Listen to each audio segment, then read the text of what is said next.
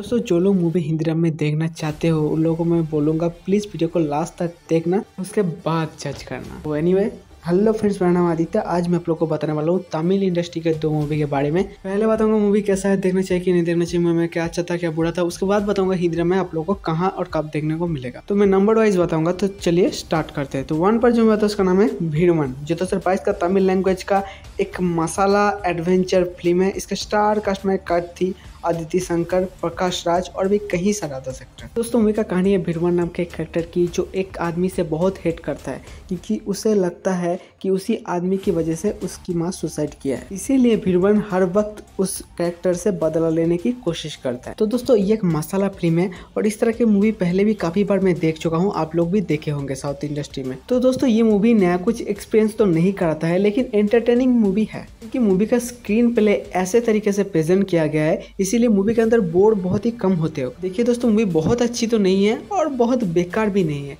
हाँ दोस्तों मूवी के अंदर बहुत जगह रिपीटेड सीन था। उसमें मुझे काफ़ी बोरिंग किया। लेकिन कार्तिक की एक्टिंग कॉमेडी टाइमिंग एक्शन की वजह से मूवी मुझे एंजॉइंग लगा। हाँ दोस्तों, एक ठीक ठाक वन टाइम वॉचिंग मूवी है। लेकिन दोस्तों सिनेमा हॉल में जाके पैसा खर्च करके देखने लायक मूवी तो मुझे नहीं लगा।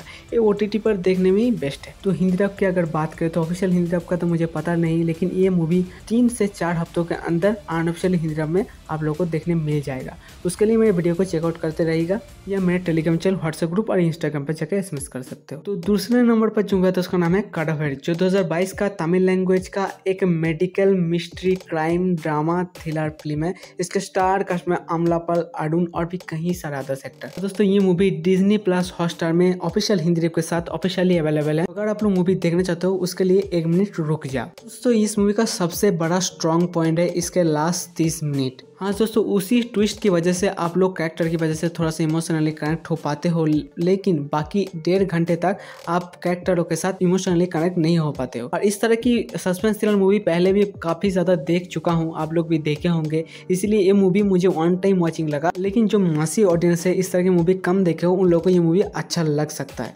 और इस मूवी का बीजीएम जो आईगिरी नंदिनी का जो बीजीएम बजता है अमलापाल के टाइमिंग के समय, वो गुजबम्स तक दे जाता है। और मूवी का थ्रिलरिंग पोर्सन बहुत ही मिनिमम जगह पे काम करता है, हर वक्त काम नहीं करता है। मूवी के नाम के अनुसार बहुत ज़्यादा डेड बॉडी आप लोग को देखने मिलेगा, लेकिन डेड बॉडी मूवी के अंदर ब्लर होने की वजह से उतना डरावना फीलिंग नहीं आता है। ये एक बहुत बड़ा माइनस पॉइंट है। और इसका रेटिंग है four point four out of ten और अगर आप सस्पेंस थ्रिलर मूवी देखना पसंद करते हो तो जाकर ज़रूर देखना। दोस्तों, आज का पेज का सही तक था। ये दोनों मूवी आप लोग कैसा लगा प्लीज़ कॉमेंट में बताना। तो लोग अच्छे रहे, स्वस्थ रहे, नए मूवी देखते रहे। टेकर बाई चलते हैं।